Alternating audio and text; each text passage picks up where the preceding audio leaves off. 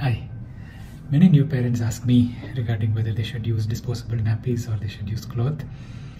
So remember that uh, disposable nappies are convenient to use, but they are not biodegradable and they accumulate in the landfills for a long time. Uh, there are estimates that the sodium polyacrylate, which is the absorbable portion in the nappy, takes about 500 years to degrade. In the olden days, we used to use clothes, which is uncomfortable for the baby because the wetness stays till you know that the baby is wet, and of course, the, difficulty in washing it.